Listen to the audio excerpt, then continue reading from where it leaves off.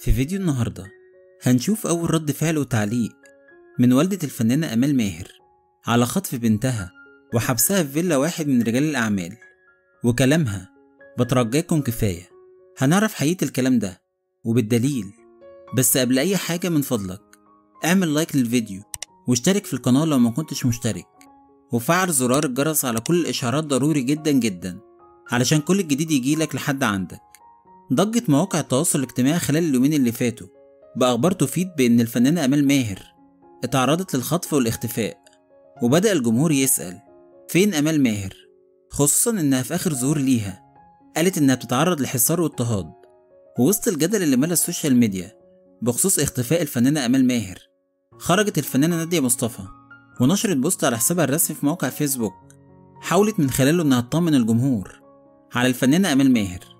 وقالت إنها تواصلت مع والدة أمال ماهر عشان تطمن عليها وقالت نادية مصطفى بالنص أصدقائي وحبايبي بناء على مكالمة مني لأخو والدة أمال ماهر حالا أحب أطمنكم أمال بخير وزي الفل وأنا ووالدتها بنترجاكم كفاية نشر أخبار لا أساس لها من الصحة وهي هتعمل لايف فيديو في الوقت الذي تراه مناسبا.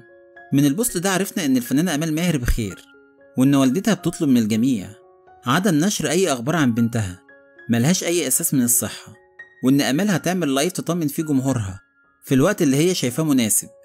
والحقيقة ال post اللي نشرته نادية مصطفى كتير من الجمهور ما صدقهوش وشككوا في كلامها وده اللي خلاها تنشر post تاني قالت فيه إلى المتشددين والمشككين والذين لم يتقبلوا حقيقة ما حدث بيني وبين والدة وشقيق الفنانة أمال ماهر. أولا لقد حكيت ما حدث بيني وبين السيدة الفاضلة وشقيقها لا زيادة ولا نقصان. وكملت كلامها وقالت ثانيا كان يتوجب علي بصفتي فنانة وعضو مجلس إدارة نقابة المهن الموسيقية أن أطمن جمهورها ومحبيها ولا سيما إن معظمهم طلب مني ذلك بمنشن على الأخبار المتداولة عنها. ثالثا أنا لست جهة تحري منوط بها جمع الأدلة والبراهين للبحث عما يؤيد وجهة نظر المشككين والمغالين. رابعا لا يحق لي أن أجبر الفنانة أمال ماهر.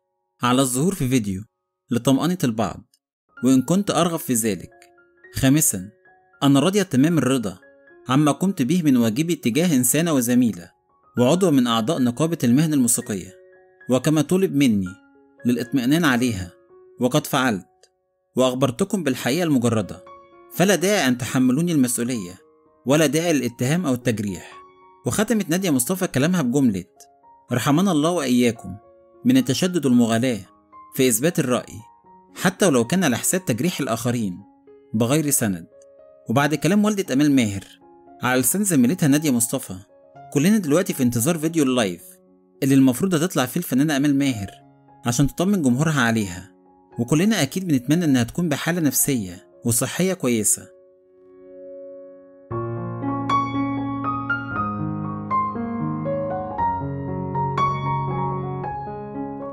ولحد هنا يكون الفيديو خلص. لو عجبك الفيديو اعمل like واشترك في القناة وإلى اللقاء في فيديو جديد وخبر جديد. سلام.